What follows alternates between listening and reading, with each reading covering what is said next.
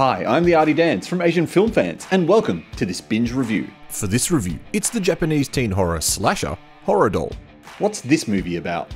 Two childhood friends, Yuki and Masato, receive a strange invitation to attend a party in a remote location where they will be paid 100,000 yen.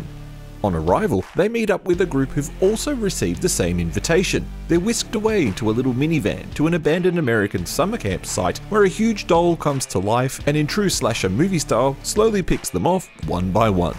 Is this movie worth watching?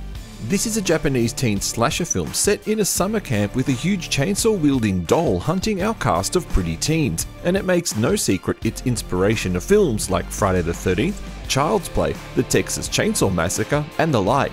It's not original, but it doesn't need to be, because this is all about trashy entertainment and for the most part, it delivers.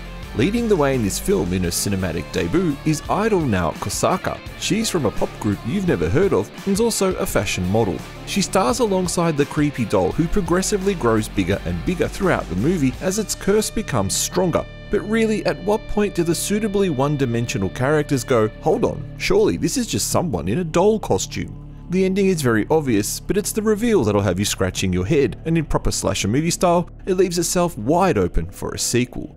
This movie is strangely a lot of fun, so I give it a thumbs up. Thank you for watching this binge review.